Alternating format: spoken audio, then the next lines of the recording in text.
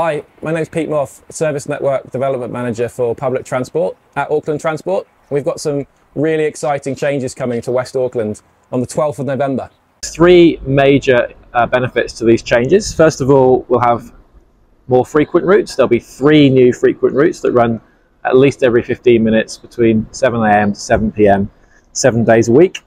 And that will more than double the number of people in West Auckland who are within walking distance of our frequent transit network.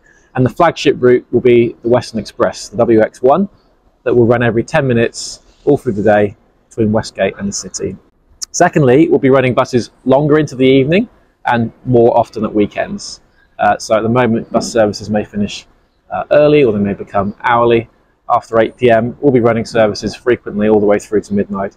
And finally, we're here to help you. Uh, there'll be a number of ambassadors on the streets to help customers uh, with the new changes. They'll be wearing pink high visibility jackets. You can't miss us.